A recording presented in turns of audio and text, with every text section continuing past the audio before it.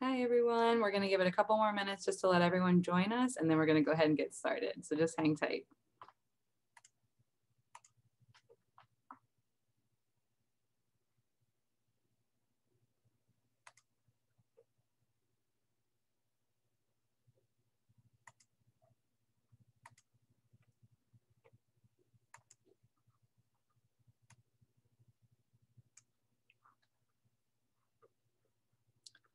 While we're waiting for everyone to join us, though, feel free to leave in the chat where you're joining us from. I see a lot of familiar names, but if you're new and this is your first time, make sure you use the chat feature and let us know where you're joining us from.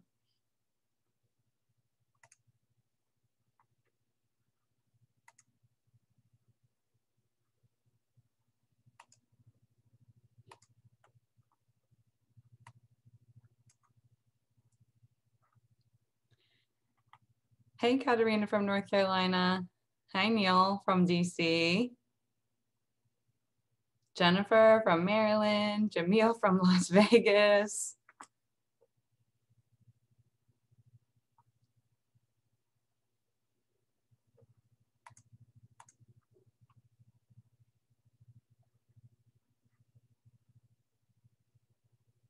Ashita from Africa, welcome. Etta from Port St. Lucie.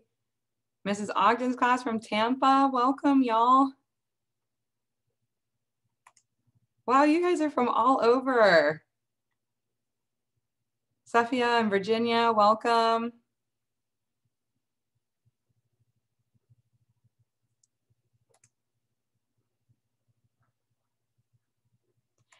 Well, welcome everyone. We're gonna give it one more minute just to make sure all of our attendees are in, and then we're gonna go ahead and get started.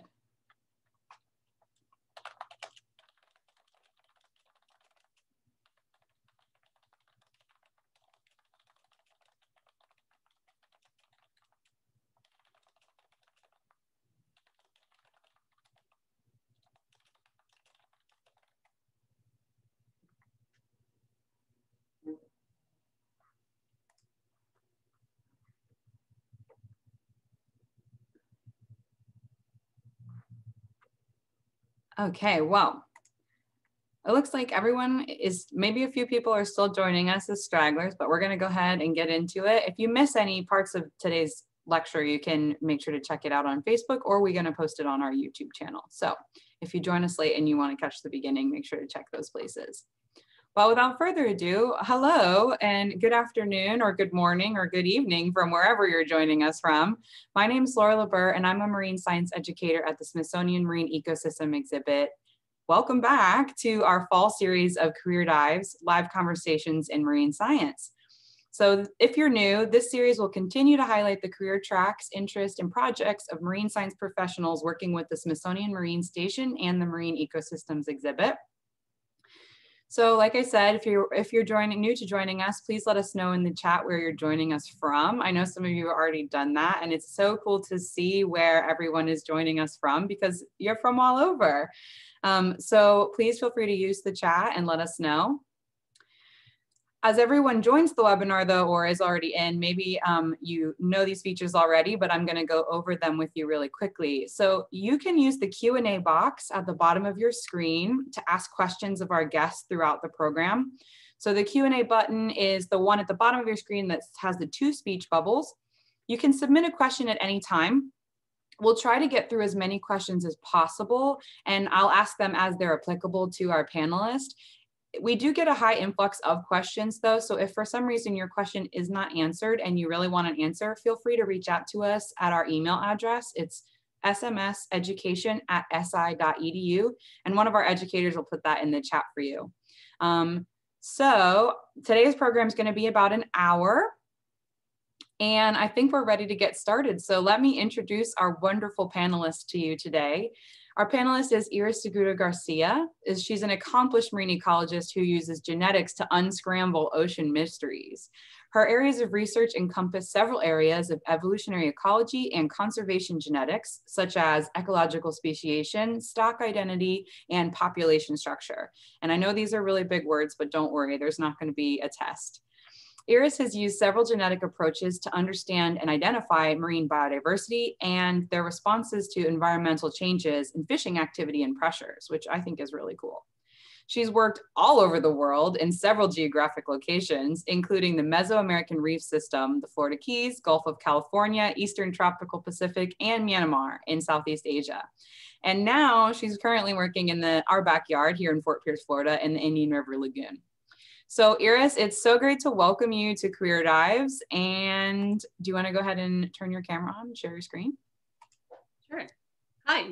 Hi, Laura. Thanks for the introduction. And thank you for all the attendees. And I'm excited and very ready to tell you more about that. All right. Well, let's let's go all the way back to the beginning of your career. How did you even get interested in marine science? Well, let me share my screen quickly. Um,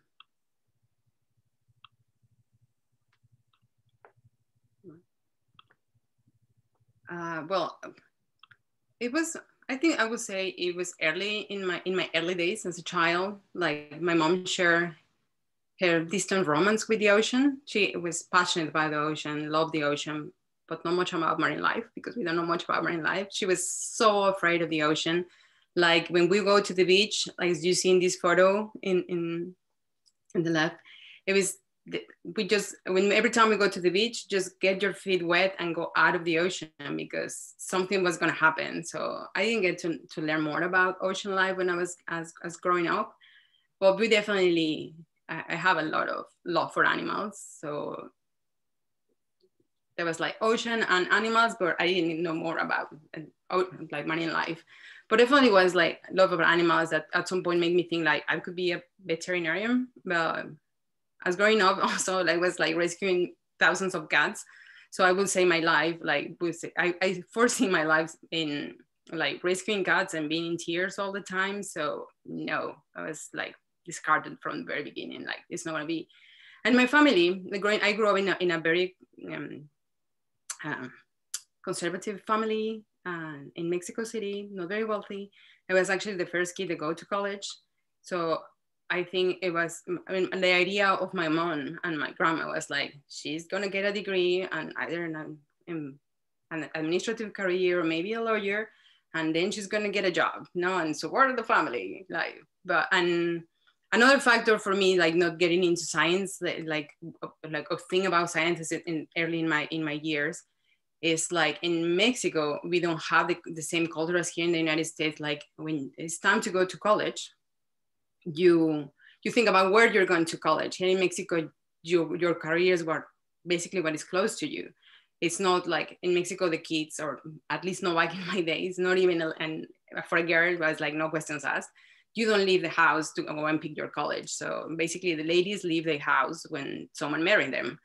So no, I didn't have this like, oh, where is my career in science going to be? Like, I didn't have that. But yeah, I mean, my mom invested a lot in my education. Sure, he let me pick. Like when I was in, in high school, in my last years of high school, um, I was a great, a very good student, and my professor saw some science in me, so they mentored me very well and showed me and opened my eyes into to science and especially in biology, and told me that biology was an, an, an option for me in Mexico City. I didn't have to leave it, leave leave my house. So I, they, they advised my mom to take me for, for a visit into, into the university, the, the institutes, the how research It's like about how, what is being a biologist. So yeah, she was open to the idea and she took me in to, for a visit in, in to the, to the Biology Institute in my later on in my university, the UNAM is the national university in Mexico, the largest and oldest university in, in Latin America. And I'm very proud of being part of, of this university. There's, it's the best place you can study sciences in Mexico. They have all kinds of institutes, biological sciences, biomedical, biology, marine sciences, um, astro, astro, um, astrophysics, I mean, you name it. All kind of sciences are in this house. It's an amazing campus. This is the main campus, but they are branching out all, all over Mexico. So in this photo is my my library and the new library that they opened the year that I actually joined the, the university. It's a beautiful um, library. It's amazing library. Actually, the first time I visited the university, I saw it from the metro. You have to take a metro. I have to take public transportation.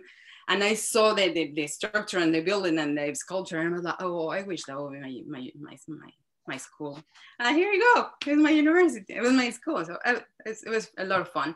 So in, in, in, in, in this program, you don't get into really like biology and animals and things until the, probably the second year. The first year is all maths, biology, chemistry. So, but early in my, in my second year, I start um, taking the zoology courses. And uh, once you pass all the, the, the, the protozoans and parasites, you're starting to go into marine invertebrates. And that was fascinating. That was just like the first like spark of, oh, marine life exists. So in this course, we, they took us for the field trip was in the in the reefs of the of the coast of Veracruz in the Gulf of Mexico, and for this field trip, it was required for us to bring fins, snorkel, and mask, which I didn't know what it was. I mean, I know what it was, but I didn't have one, as many of my other classmates. So here I go, my mom going an excursion in Mexico City, which it's not like you go to the dive shop here in Florida or in Cancun. So it was an expedition for her to get me this gear to come to my field work, um, to my field trip, sorry. So that was exciting. A little bit embarrassing, I have to say, because I didn't know anything about marine life. So when my friends or classmates going jump into the water, they start recognizing all kind of things like, did you see the Christmas worm? Did you see this? And do you see that? Or know, like, I don't know any of the thing. I mean, I know them from the book, but I never get to see them in, in the ocean. That was kind of but anyway. So um, that was my first time I snorkel. It wasn't that hard. It was I took it very well. But one of the amazing parts of this trip was seeing my professor having a, a free dive five meters down and squeeze a huge sponge. Like we, we, we saw that sponge. We, we reviewed the, the sponges already in, in class, but then she go and squeeze all the that, and then she went out to the surface again and said, "You see, that's what I was telling you about sponge. They just like sponge and they like it." And I was telling more about the sponge, and I was like, "Wow, how she does that!" And and then you started showing us um, um, like the jellies and the ctenophores, like the comb jellies and all kinds of marine life there, and I was just like, "Wow, yeah, this this is awesome, and that's what I'm gonna do. So I read, and this is the first time it was just like my spark of marine life is like, this is gonna be me. If I'm gonna do biology, I'm gonna do marine biology. So I keep looking into that. I continue taking all my courses and botanies and evolution courses, but I was really like, it's gonna be marine life. So I keep looking into that, and I had the opportunity, or an opportunity came into my my side. Like there was um, a dolphin program in Mexico City like it's like in the institute, like just like a few doors from my school. Like there was someone that was probably taking volunteers to to to conduct this uh, dolphin population project in the Gulf of Mexico, and it was Dr. Um, Alberto Delgado Estrella. But by then he was doing his PhD on this, so he took me as a volunteer, and he taught me many things about dolphins. I mean, many things, many aspects of the biology of dolphins he told me how to conduct photo ID, all the traditional met methods to do the um, population biology in dolphins, how to track the, the dolphin marks, the natural marks on dolphins to learn, learn more about their biology. I learned how to age a dolphin, how to process samples and, and skeletons and skulls for the collections. So I was like very productive for me to volunteer for, for this uh, for this project. And later on, I met his colleague, uh, Dr. Joel Ortega, who was in, um, enrolled in a PhD program in Texas A&M. So they saw like my genuine interest on, on, on dolphin research. So they encouraged me to apply for a scholarship. For I was, I was that was my my third, four year of um, of my of my program, my biology program. So I was like, I need to choose a, a thesis for, for, for, to graduate. Because in Mexico, we do like a, a, research thesis, a research project to get your degree. So I have, to, I need to choose that. I need to really go into that. So that was an opportunity. I didn't know that scholarship could be, if was available for me, but I learned that. So I applied for a scholarship to do research in, to do this, to conduct this research in Texas A&M, and I got it. So that was fantastic. I just needed to finish my my all my classes, wrap up things, put all my paperwork, and off I go Texas. But the story was a little bit different. It was not that easy. University. My university went into a strike for months. So during this time, uh, I start volunteering and now in this time for the Institute of Marine Sciences and participate in different um, campaigns. So there was the, the ocean in, in from a different platform, which was is also amazing. So again, more ocean sciences, how to do plankton tows, planktons, how to process the samples, even cetacean work. Like in some of the, in a couple of the cruises, the Texas A&M group participate, and I learned how to conduct dolphin cetacean research and sightings and record uh, data from a different platform. It's like in a big ship. Like when what I did uh, for for Alberto's program was from a small from a small boat. So there was like a, a, a, different platform. So I learned a lot of things during these months, months of strike. I think it was probably over a month, over a year, sorry.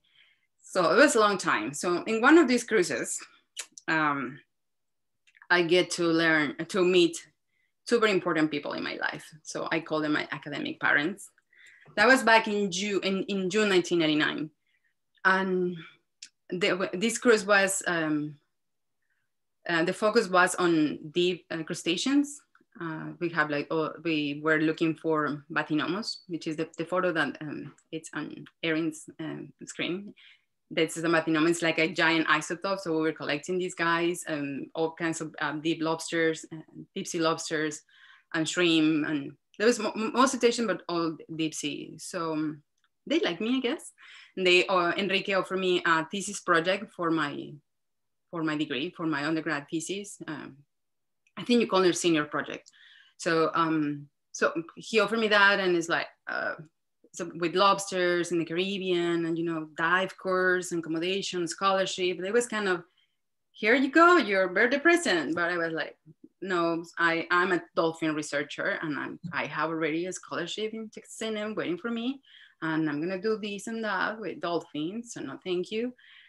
So I didn't take that opportunity then, uh, but the the the strike went on, and at some point, and I, I just want to, to quickly say like Patricia and Enrique were my the, my first like mentors in research, like like this, uh, from designing a project to all to to become a, a scientific paper, my first scientific paper they were my colleagues at some point and now they are friends and even my family. I think people don't understand maybe like you had two months to go until you were going to finish before the the university went on strike and so you thought it was going to be over like kind of shortly and it just kept yeah. going on and on and you were like i just want to be done with my undergraduate degree so i need to pick like am i going to wait for texas a&m when the strike is over and they can process my paperwork or do I really want to take this project, which is the lobster research, and finish my degree so that I can move on to the next thing? And I think like that choice, as you have here with the balance, is like really ch- changed your entire journey.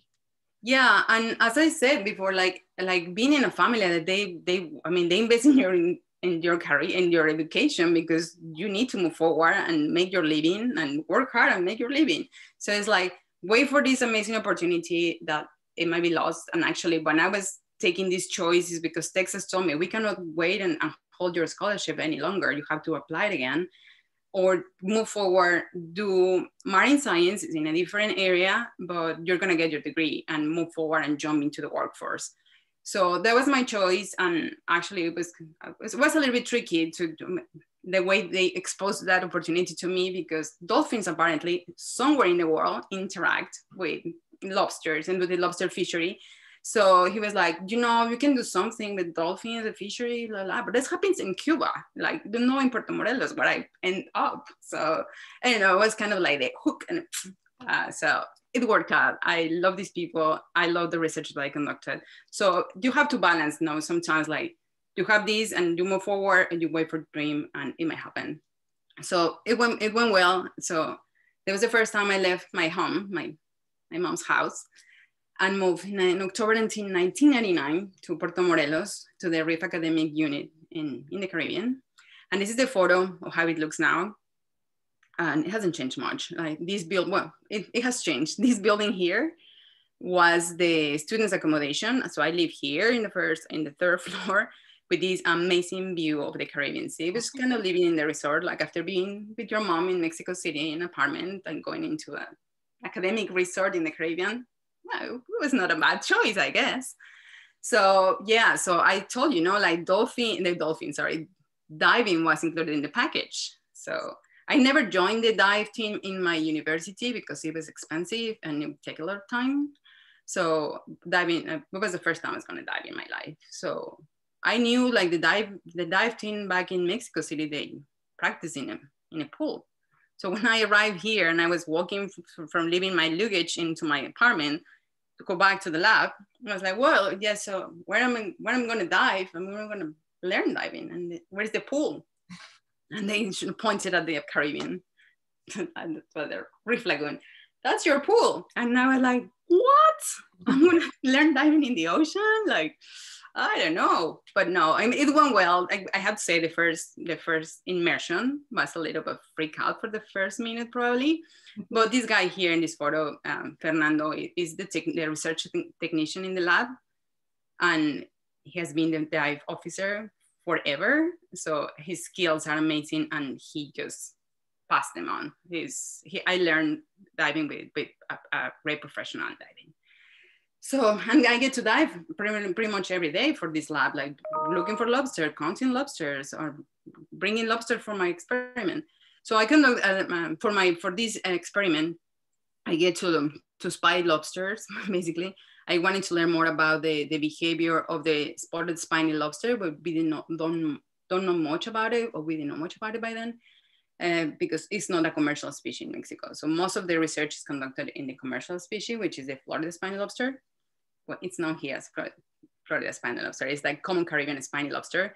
So it was a very neat um, um, experiment. I put cameras in, in, in trash bins and spy them for 24 seven. Every time, every, every hour I record 10 minutes of their behavior and for three weeks, I think. And then I, for months, I go to see the TV, like reality show on lobsters and record all behaviors. And so it was pretty neat. And so, but I got my degree, so I was pretty good, and I got my first paper, so that was pretty pretty good. And got scuba certified all in one. Yeah, there you go. That's all in the package. That was pretty. Good. And first time I live out of my home, so like I, it was definitely um, a growing step in my, in my in, in my life. And for those of you who aren't familiar with spotted lobsters or spiny lobsters, they're very similar throughout the Caribbean. They kind of have a very similar I mean, Iris, you probably think they look totally different, but if you if you haven't seen them much, they look kind of similar. Um, but spiny lobsters obviously are spiny, and they have all these things all over their shell. Um, but they occupy similar sort of habitats. And so, if you're familiar enough with the spiny lobster, a spotted one just looks a little different, um, but they are kind of in the same area. Yeah. So now you finish your degree and you have an, another choice to make. Well, yeah. So mommy told you you have to get your career and join the workforce. So that's what I did. And I applied for, a for, for my first job as a dolphin trainer uh, because I wanted to conduct dolphin research, right? So that was my aim. So in my mind, um, and based on what in the, the previous uh, project that I was, uh, I was volunteering, the, this research was funded by a dolphinarium. So I thought like all the dolphinariums will have like a research department and I will live my dream like in the Flipper movie, like you have the bay with dolphins and you have your lab and you just study dolphins right in front of you. But no, it was a it was a bit different.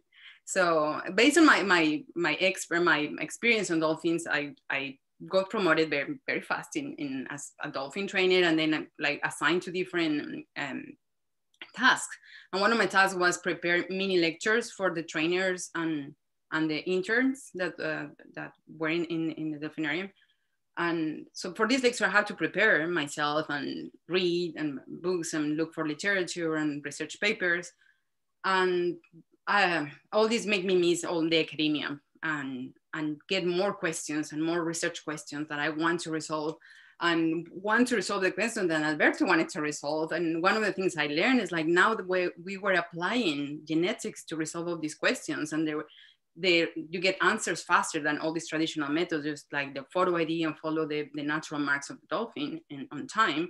So it's like, that's what I want to do. I want to learn how these dolphins, they are the same dolphins that we see along the coast of Mexico. They are the Veracruz or they are from Tabasco or they family or they're not family. I want to know more about them. So I started thinking about graduate school and put a, a, proposal together to start applying and look for opportunities. And yeah, I, I got an opportunity. Um, I think one of the first uh, professors that responded to me was in Spain, and one is in Spain. And he offered me a project with, to resolve these questions, but not based on genetics, but based on parasite laws.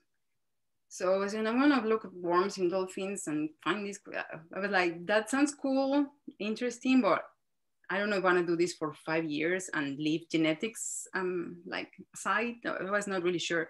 So, and my second choice was stay in Mexico for a master degree, two years, and also get a taste of what is research, what is molecular ecology and genetics um, for me. So I went that route. So is my choice two in my career. So I stayed in Mexico. I I knew that there was this new faculty, Dr. Axel Rocha Olivares, he started um, um, molecular ecology lab in CICESE, which is a well-known institution for oceanology, both biological and physical and sciences in, in general, like higher education. So um, he was he was new, and there was one of his students was doing dolphins. So I was like, that's very that that kind of fits, right? So I sent him my proposal, and he liked it, and he's like, um, yeah, I really like your thing. I can help you to do this research. I have funds to do that. You have to apply, of course, if you are accepted into the institution, you are very welcome. But I don't work in the Gulf of Mexico. But you can do this in the Gulf of California. And I mean, have you heard that the Gulf of California is the aquarium of the world? So that was very appealing. Um, although Ensenada was not very appealing to me, but like living in the Caribbean, blah, like old colors and stuff. That was not very appealing, but I took that choice, and it's amazing. It, it was it was um, it was a, a very clever de- decision.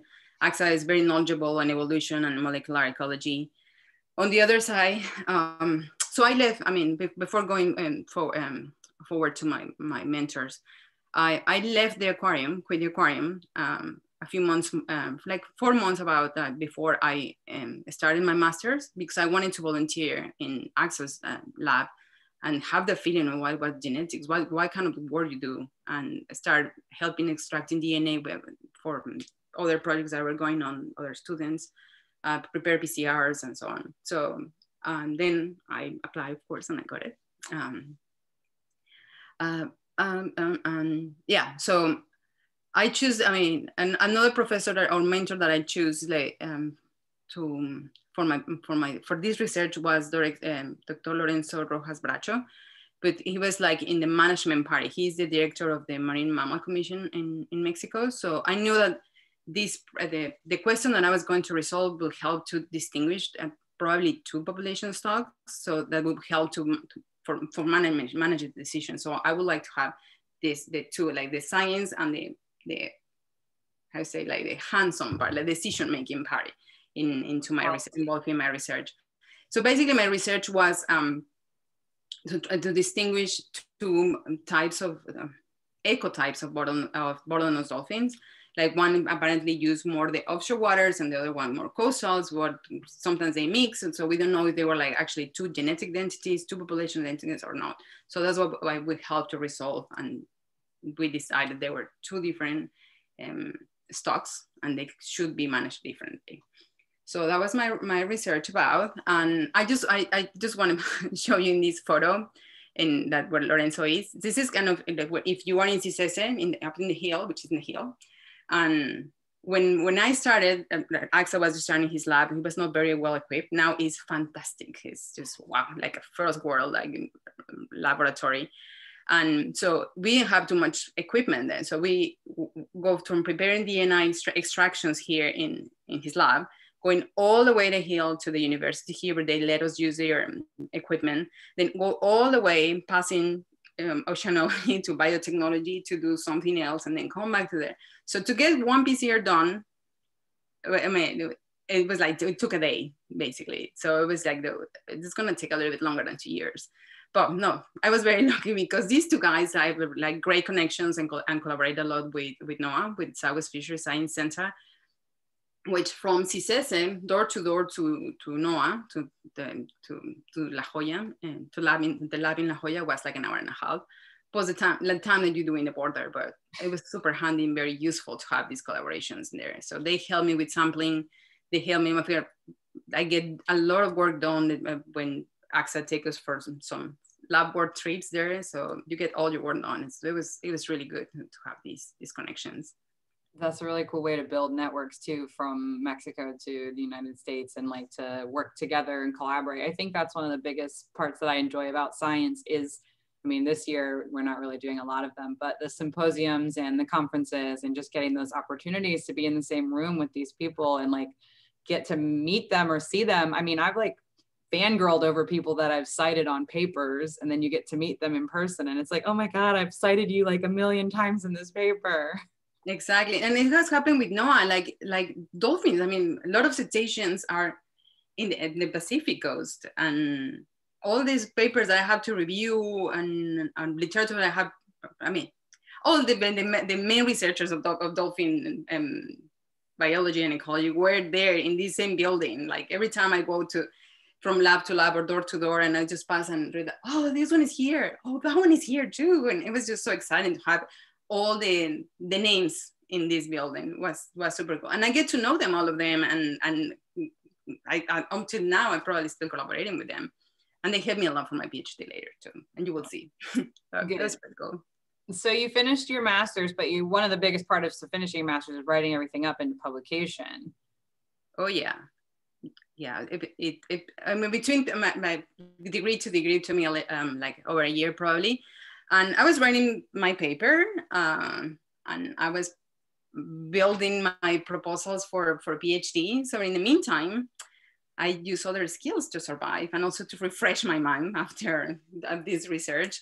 So while my, my master's, I also learned how to make wine and Ensenada for some people that don't know, it's like a, one of the main regions for wine in Mexico. So I learned how to make wine. I grow grapes and, and but also I grow a lot of veggies and, and prepare marmalades and, and salsas. And every Thursday um, for this year, I, I went to the, to the Institute and sell my, my produce and veggies.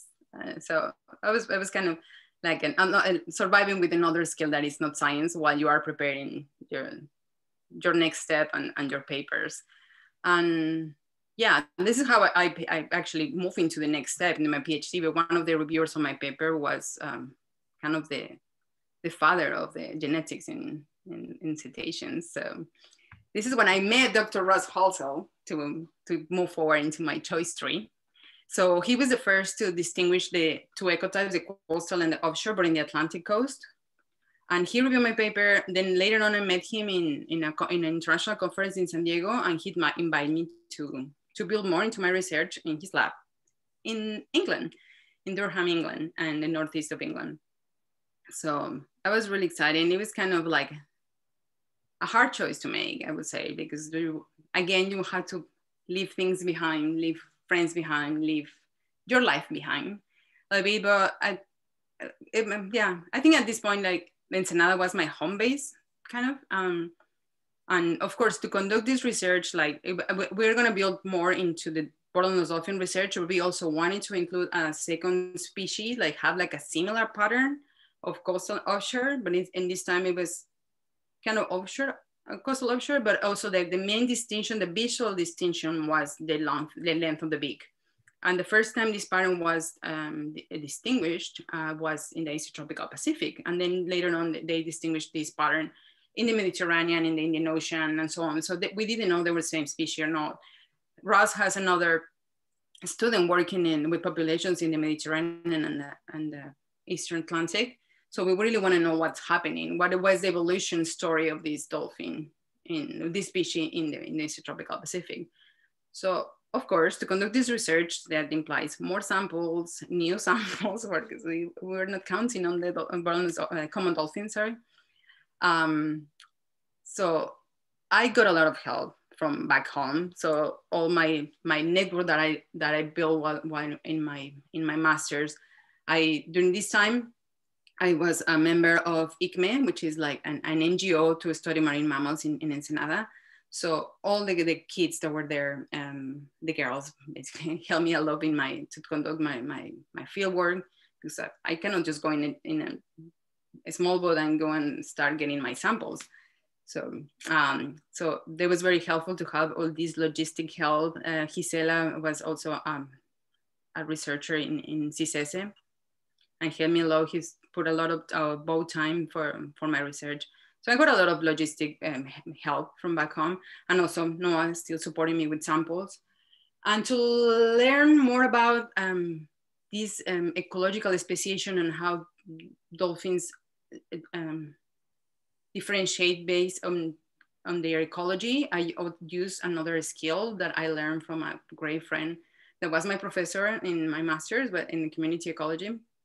She used uh, mostly uh, stable isotopes to resolve ecological questions, especially trophic ecology. So I also used this method. So it was a combination of genetics and stable isotopes to see how dolphins make, um, I mean, choices in ecological and preferences lead to, to different evolution patterns in these two species. So that was pretty, pretty much my, like an abstract of my, my PhD research. Iris, you mentioned about the different sizes of the beaks. Will you go back to the the previous slide and show our viewers like what that looks like in in a real life sense? Yeah. So this is the long beak. Uh, so this is the beak of the dolphin. So this is a slightly is slightly larger and thinner than this one. This is the common bottlenose dolphin, and this is the, probably the, the ones that you see more often. But this pattern do exist. These also have a little bit more yellowish um, um, spot here, then this one is more grayish. They're smaller, I would say, and grayer than, than these guys. So there are these morphological things that they evolve and like in, in, in parallel with other traits and that makes them to be two different species. Actually, after my research, these these guys are called is, is are now recognized as subspecies. So that was pretty cool. Like yeah, it worked. the, we, we, have some good findings that help to to to make these, these, these distinctions. But when you're in the field and you're just looking off boats, like they they do look similar, and it's not until you start taking these samples and you understand like their their genomes and their genetic history that they're definitely different enough to classify as subspecies. Yeah, yeah yeah. So i mean if you have a i mean you kind of educate your eye to see these things like oh yeah this is smaller or this is grayer. But i mean these guys are not like you took a photo no it's just like them so it's like oh that was a, a, long beak or a short beak there was a, there are a thousand or ten or it's just, there's you have to really train your eye to to to read these guys in the water and they're so quick too. You're like, wait, did you see it? No, I didn't see it. Did you see it? Yeah, and then you're looking here and, whew, and then, like they don't know where to look. And these guys, like the, their schools are like hundreds of dolphins. There is like all the time. It's like, I mean, you can see like small groups. There's another distinction between these, uh, the coastal and the offshore. The offshores, of course, like to protect more, more the the the, the members of, of, of the herd. They are thousands of dolphins, and sometimes they are mixed species in the offshore, they are smaller numbers and yeah, I mean, they're smaller numbers. but yeah, when I get, I, I think what I was going to say is like when you see them in the offshore and you are like cruising and then you start like some like splash here, splash here, and suddenly, like suddenly, honestly, in seconds, it's like it's like the water is boiling. It's like thousands of them. It's, it's, it's super cool. Wow, that's see them.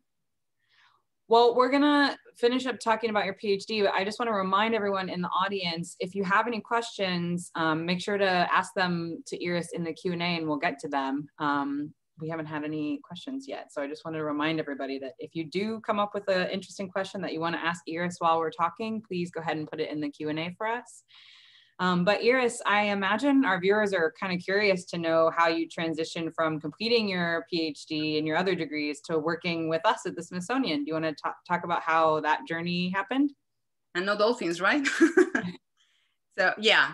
So of course, you finish your PhD, you graduate at Harry Potter, and then it's like I could stay here. I love it here, but you also have like some visa restrictions that you have to go back. You can apply for jobs. You can apply for. There was some. I remember it was like an amazing lecturer op, op, option or opportunity, I would say, in in Scotland. And oh I was like, off I go. No, no, you have to go back to your country, apply, and start all the process again, all the immigration process again. So it was kind of like decision make, and also um, all my grad school, my grad studies were financed by Mexico, like our NSF in Mexico, which is CONACYT. So I also kind of want to pay back um, a little bit of, and but I use my skills learned into like problems and, and, just pay back to the institutions in Mexico. So I'm I mentioned Enrique and Patty, right? So they pop again in my life, and they invited me to to I mean, well, we, we talk about some of the projects that they were going on like a, like a year before I was finishing my PhD.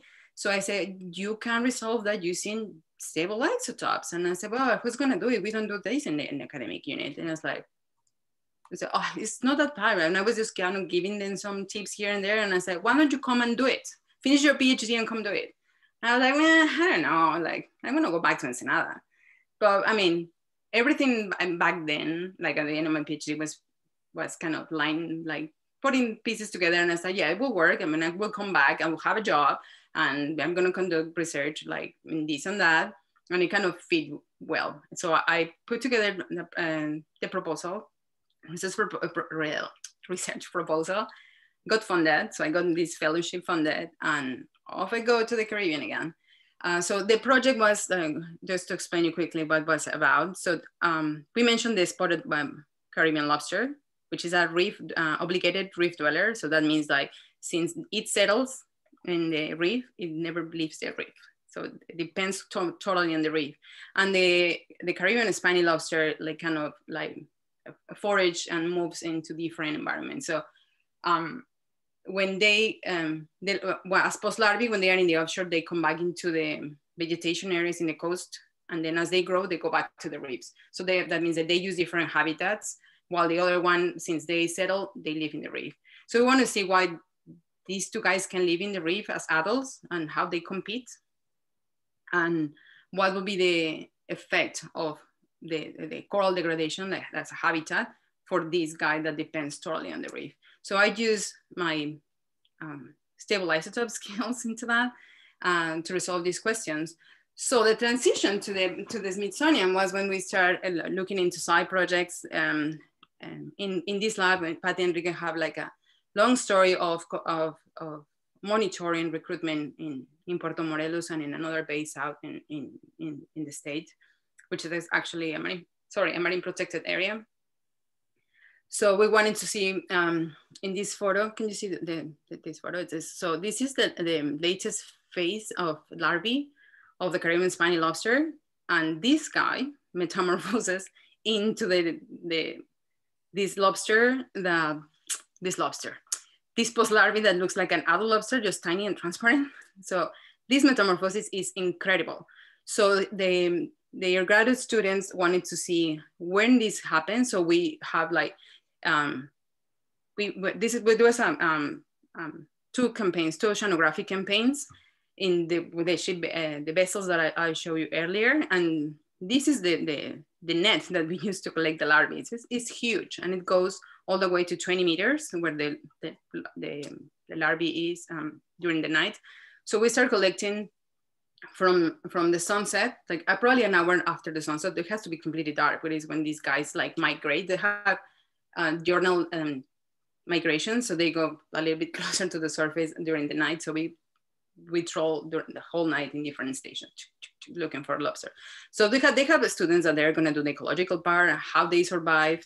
These guys, the, the post larvae don't eat. So we wanted to know where it was like the, the no return point. Like if they don't make it to, to the coast, when they're gonna die. So they were doing all this mm, chemical um, ecology, like the, the resources that they have to, to keep going all the way to the coast and when they're gonna die there's a lot of experiments going on, but I was going to do the genetic part of some of these recruitment, dispersion, and connectivity thing.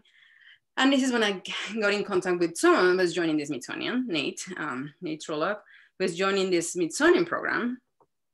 and the Marine Conservation Program, which is um, with Steve Box. And he said, well, we are interested in collaborating, collaborating with you. And then I met Steve Box in a, in a lobster conference and I said, well, rather than collaborating with you, why don't you join my team? Um, so why not? So I was, I mean, was after at the end of my, my second year of that, I got funds for in, in, in UNAM in Puerto Morelos. So choice five, leave Mexico again, which I was never, I, honestly, I never, never thought that I was gonna leave or leave outside Mexico. I was gonna go back and do research in Mexico, but here I go. So was two years of PhD, uh, PhD of postdoc, of postdoc doing lobster research, mostly in in the Mexico, Mesoamerican Reef, um, recruitment, see, uh, to support like my, my research was going to support all the spatial planning that they were doing like in, in Honduras. They were they were um, already working in spatial like in spatial ecology to, to design an um, marine protected network. So the recruitment part was going to be just like support some of, of these uh, implementations for, for, for conservation. But well, then during these two years, I also get to collaborate in conch research and part of parrotfish research with Courtney, um, like trying to look for the, the, these these fishes are like great herbivores and a very key key species in, in the reefs because they eat all the macroalgae that overgrows corals. So they're banned now, they are protected, but we still finding them in, in the fisheries, in like in the restaurants. And so one of our, some of our, well, many of the our field work was basically going and eat ceviches and fish dishes in the Mesoamerican Reef. So I accompany Courtney to Mexico mostly and eat ceviches and collect samples from them and bring them to the lab and see they were parrotfishes. And she did the same in Cayman and Belize and Honduras. So that was a fun field work. So pretty cool. You're a ceviche connoisseur all over, all over.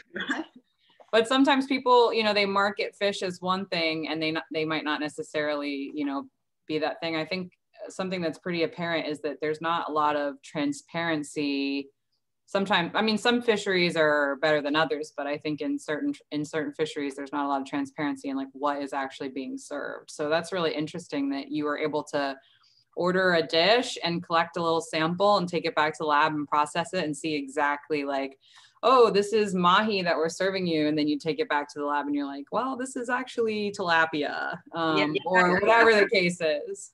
Yeah it happens all the time. There are a few papers now that is just like tracing all the the or, or fraud in, in in seafood no so we we we ask we ask first when we order and so what is this? And they tell you it's grouper. And it's like tilapia grouper. They're like when we come back with the results no so there we a lot of barcoding of, of fillets and fishes in from from there so it was great collaboration great meeting and these amazing people we, we, at some point we were like six postdocs working in, in the same lab so it was an amazing team it was two years of of Caribbean. And I, I transitioned in a little bit more with my lobster research into the Florida Keys, trying to find the origins and contribution of different countries to the uh, Florida Keys stocks. So it was the last paper I published on, on, on lobsters. So pretty neat two years of Caribbean research. That's really cool. We have a couple questions if you're if you're game to taking them now. Sure. So um, Juliet wants to know about the dolphins that you trained in Cancun. Um, did you have a favorite dolphin? Yes, Electra. Electra. He picked me actually. Yeah, you wouldn't think like, but yeah, I mean, I had a few. Electra was probably my favorite. Oh, Shiana was the second one. But yeah, some um, they just pick you. It's just they are they have their temperate. Um, yeah, she was my favorite dolphin. Because they have personalities and you kind of form a bond. Yeah. Yeah, totally. I, I, I remember, I was quickly going to tell you a, um, an anecdote. Um, at some point, I think I got ill, but I didn't go to the to the decks um, for probably a week. And then I returned and then was like, okay, Iris, you have to jump into a program. As I told you, I, I, I was not doing too much programs. I was doing more office and education stuff. So I jump into the water and here comes Electra. I didn't have it. I was not working with Electra that day, but Electra was like not paying attention to any trainer, not even the senior trainers. She just gone to me and she was pushing me against the gates. Like, and I was like, can someone take Electra, please? I have Oceana with me. Like, and it's like, sorry, it doesn't work. I have to come out of the water and take Electra to another pen and like, like give her her time out because she wouldn't leave me. She was like, where have you been? So I missed you. I know. so that was great. There's some kind of experience that you see like, ah, I don't know, they're touchy, but it's a little bit cheesy, but I love working with dolphins. they're super intelligent. I think they are. This is a great question too from Greer, and I think it's really applicable because here's you scuba diving um, on screen. Um, and Greer wants to know Has your love for the marine life and all of your work helped your mom become more comfortable in exploring the ocean? And have you gotten her to snorkel with you? She did. Uh, yeah, she did. She, she she can change her mind. I remember I was still in my in my diving practice in Puerto Morelos where she can visit. Her baby was out of home, so she had to come visit. So I still like like in my dive course, and it was one of my deep dives. Was like, oh, I don't know, man. Let me think in, in very deep dive. Um, I don't want to think in feet, um, but it was like 15 minutes, 15, 15? No, it was 40 feet. Yeah, it was 40 feet dive. So she's like, you can jump with, you can come with, with us in the boat. and, And she was like, okay, um, but what I'm gonna do is like, you just put your mask and you just breathe in the tube and it was just very easy. And she did it, she did it. And she gets to see the, the reef and the reefs and she was like, yeah, I can see some rocks. He's like, no, they're not rocks, mom, they're corals. And so uh, that was neat. But you know, the funny thing is that she couldn't do it in the in the in the shore. Like I went to with her to the seagrass beds and I said, oh, you have to see and see other things. She couldn't do it there. So I just throw her out of the boat and like 40 meters and she was fine but she couldn't do it like just put the, the, the face like she couldn't do it but yeah of course like she she gets a lot more than the sea life Oh, good. Yeah, great questions, everyone. Keep them coming. We're going to save a couple for the end, but if you have any more as we keep talking, we're going to talk about how you transition to working in the Caribbean, to working in the Indian River Lagoon. Um, but go ahead and ask your questions in the Q&A. So, Iris, do you want to talk about how you you've been with the Smithsonian and you're still technically here, but you also have another collaboration in the works, or you've well, you have another choice to make before we get to that, I think. Yeah, but so it was uh, like when I started in Smithsonian it was like a, a, compromise for two years, but then at the end of my second uh, second year, we got another project funded, not in the Caribbean, elsewhere. So that was Myanmar. So Steve called me to his office and it's like, you have this opportunity. This project it got funded. Uh, so I wanted to, to take place with that, like help me to to, to develop a lot fishery science in Myanmar, uh, but you have to move to DC with me for three more years. And I was just like, what? And um, I run to Sherry, the heart of the Marine Station. So I met her when she was the dive officer, and I didn't really get to to work directly with her, but this person was always there for you, either like as a, a station manager to make sure all your work environment is fine, or just having her in in the lab was just a, a reason to cheer for the day, and she was always there as a friend. And I ran to her crying like, Steve want me to go to DC and I don't want to leave. Like, and it's the reason why. Like, Fort Pierce was home basically for me now. Like, I love Fort Pierce, it's a small town, but it's just like, like a beach lifetime. It's just very relaxing. I love living in Fort Pierce. I feel secure. I feel I, I feel awesome here. But I also find Bill means love. So I didn't want to move. it's like I want to leave now. Like finally, I'm kind of settling. I'm going to move again. So Sherry was always there, and like to give you an advice, to give you a hug. So that was a great loss for, for us in the Marine Station. I know so, it's hard. What was, do you want to share what the advice she gave you was maybe? Bill is a great person. so that means everything. Bill is a great guy. So if you, get, if you get, if you get, Bill, I mean, Steve took it very well too. He was like, okay, we want we want to make it make it work so yeah this was the life choice actually. It's not like choice one choice two. It was the life choice like you're staying here and this is home and this is you are building your life here. So yeah steve was very considerate with that. Um, and we started working in, in myanmar. So originally we were going to work in crustaceans like lobsters and they have beautiful lobsters there too.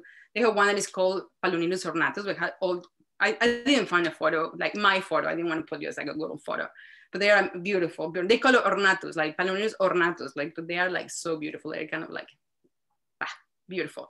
So they have beautiful um, lobsters, there, a lot of fish, uh, lobster fishery, but they also have mud crabs. They are very important in the country, blue swimming crabs. So I was kind of focused on that in my research. But then my first visit with Steve, we, we, we work a lot in collaboration with the fisheries department. So when we start talking about what things we can do as the Smithsonian Marine Conservation Program for them and help them to build um, sustainable, implement sustainability, uh, like science-based, like um, management of their fisheries, then you start jumping with, oh, you can do that. Can you do tonsil? Can you do that? Can you do that? And then, then we also, I, I, gave a couple of lectures in, in, the, in Myeik University in the Department of Marine Sciences and they were like, "We want to work with you guys." And I have actually some uh, some students from from Myeik uh, University, have a few PhD students, and of course I wouldn't make it with the, with the local partners. The fisheries department was all all the time working side by side with us, and. Um, and I mean, of course, the, the students in the collecting, Tuyen is also like is our um, program coordinator there and he was helping me a lot. Of course, translating was one of the best, the first thing that she, he would do for us. But yeah, so I, I ended up working with, I don't know, like five different species besides like all the, the catch and, and barcode. I, I have like a, a collection of um, that um, sample set of over thousand samples and I have barcoded all of them. And I, I am like focused on genomic uh, um, work, like in fine scale um, structure to help to plan more fisheries regulation in, in the country. So this is still going on. Uh, unfortunately, the three years passed very fast, and I just like collect a lot, lot of work to do. And but it, I didn't get to go to the whole thing. Unfortunately, the fine, um, funding for the for the country is not very easy. We work in strong collaboration with SCBI, the Smithsonian Conservation Institute, um, Institute, um, but still like um, to be it, it's even hard for all the political issues so um, international funding don't really want to to go there. But um but that was kind of the story the, the, the, fact. so that was my also like the end of my five years of postdoc. I cannot go more um, more than that five years. So also the end of my my immigration status here in the country so but i wanted to stay and this is uh, i i i um my transition with, with, with Harbor Branch was like, which is actually our neighbor institution here in, in Fort Pierce. They are just like a few uh, miles out away from, from the marine station. Um, but at the, at the end of my, of my, yeah, probably, yeah, at the end of my, of, my postdoc, of my postdoc, I took a course in genomics in California, in the Catalina Island, where Andia, Dr. Andia Chaves was uh, also a participant in the course. And later on, she got a position in Harbor Branch and she knew I was here and she knew my, my skills and my, my experience. So she invited me to collaborate with her in a big project in the, in the Caribbean that, that, that she collaborates to. So it's basically to understand how the, the, the natural disaster like, like um, yeah, natural, like, like, how do I say, like, like catfight um, hurricanes like like major hurricanes or disasters impact the coral reefs like with a lot of focus in in in, in sponges. So th this is one of the, the main that she invited me to collaborate to collaborate with. So the transition between like it was at the end of my um, of my fellowship in the smithsonian to here which i just started in harbor branch in april it took a while because I mean you have to clear all your immigration status. So I was, I mean, and they want me to collaborate there, but I was not eligible for the position. So it took like nine months to to get all my paperwork um, in place. So during all this time, we started like I collaborated there. I volunteer my time there to get like the the uh, the, uh, the projects going on. I mean, move forward. And during this time, we're just like brainstorming about and with all, all the collaborators in, in Harbor Branch, how, what else can we do or other side projects that we can do. And this is when we came out like when to with to work in, in the IRL in, in our backyard, not like I'm second of an hybrid between, I mean, I, I mean, since I was not, I, I, didn't have an affiliation when we put this um, then, uh, um, so yeah, I was like in between, like clear not my, my so I didn't have an institution. I finished in, in Smithsonian, but I was not a Harbor Branch neither. So we put this pa- a paper, a paper, a project that was funded to, um, to dig more into the uh, diversity of the IRL sponges and also in infauna with, with, with Holly, which, um, so we, yeah, so we came up with a dream team. Like everybody has their own skill, their own experience, and there we go. Jump into the IRL um, adventure, and it's just it's just easy. Know, we are it's just right here is our our our lagoon. We love our lagoon, so we need to know more. It's, it's, it's not one of the most diverse lagoons, but we actually don't know much about some of the the taxa, and we are going to find out, and we are finding out. So we have an amazing team, and here I am, Harbor Branch Hybrid Smithsonian, and building another year of my career.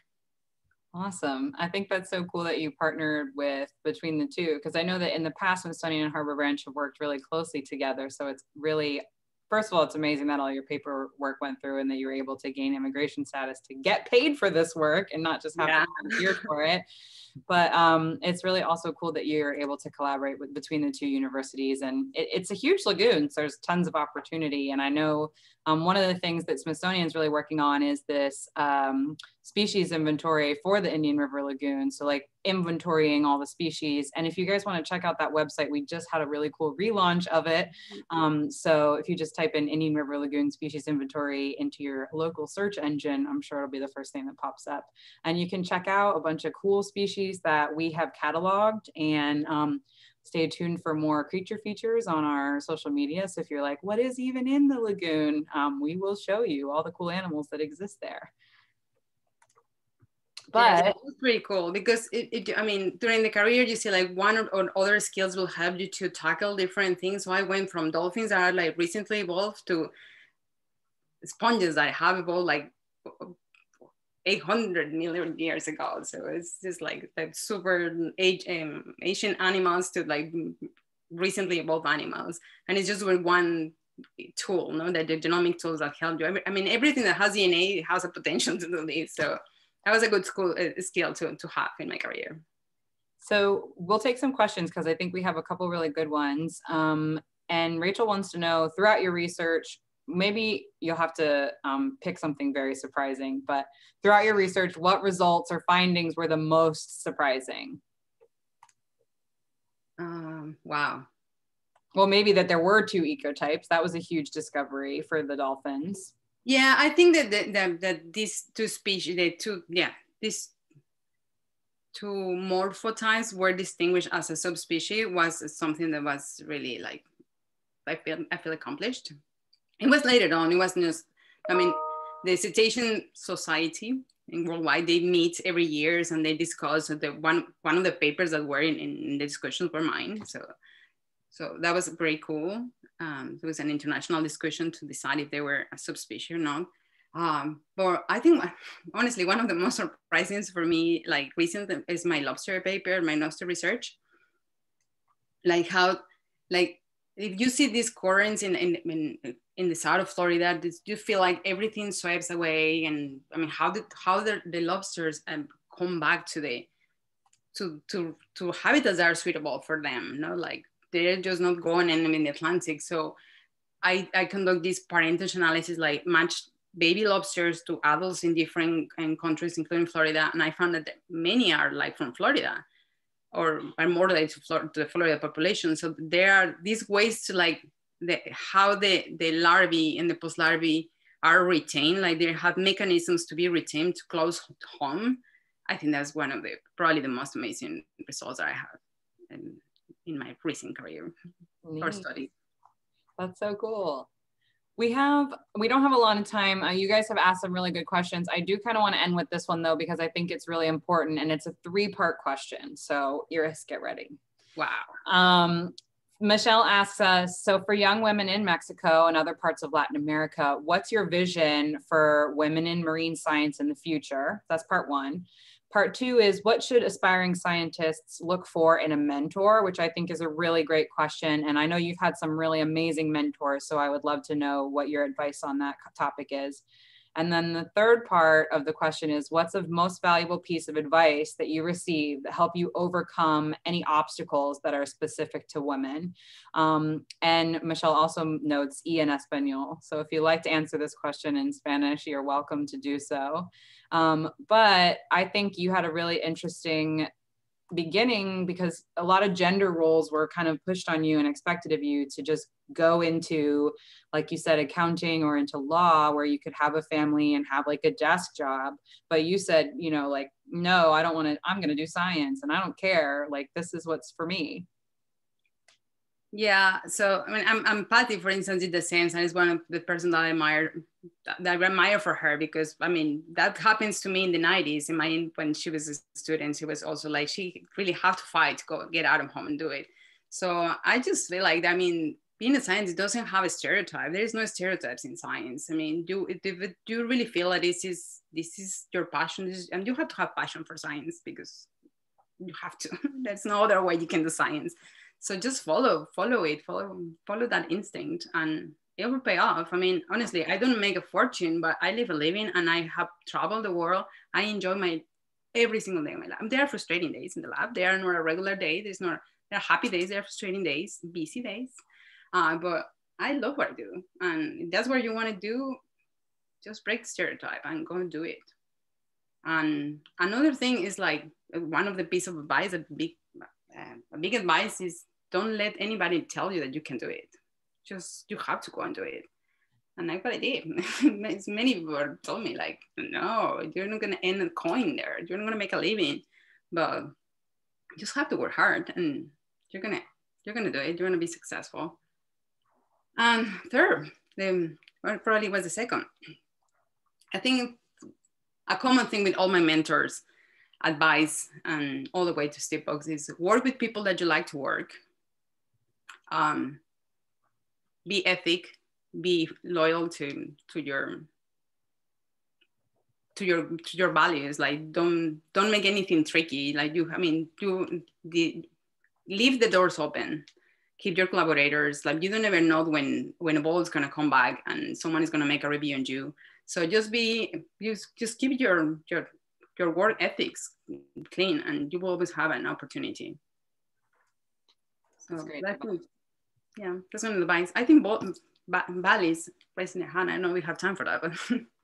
we are going to have to wrap it up. If you have any more questions, though, um, Aaron has put some resources in the chat for you. Aaron linked the Indian River Species Lagoon in inventory if you want to check that out. We also have our Facebook and our Instagram um, there for you. If you had to jump on later or if you missed the end, this will be hosted on Facebook and we do put the recording on our YouTube channel. So make sure to check out those two places as well. Um, but Iris, thank you so much for sharing your career path with us. I really enjoyed um, hearing more about it and getting to interview you and talk about your story and sharing it with our audience. Thank you. No, thank you guys. It was it was it was really cool, very exciting, and it was very interesting for myself to dig into into my career. So it's pretty cool. I think it's really fun to go back and look through all those pictures. Yes. I know that's always a good. It gives like you haven't done it in forever, so it gives you like a nice opportunity to go and revisit that. Yeah, absolutely. Um, okay, everyone, thank you so much for joining us. Where if you enjoyed this program, please join us again on December 10th. I'm going to be interviewing Yesmarie de la Flor, um, an intern turned fellow turned contractor with the Coral Health and Marine Probiotics Lab at the Smithsonian Marine Station.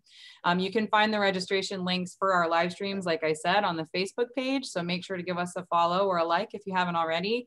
Um, we share those links the Monday before. So our next career dive, like I said, is going to be December 10th. And then we've got one last one for the year on December 17th. So check the chat box because we have a lot of uh, really good resources there for you. But without further ado, we'll see you next time. Bye. Bye. Adios. Adios.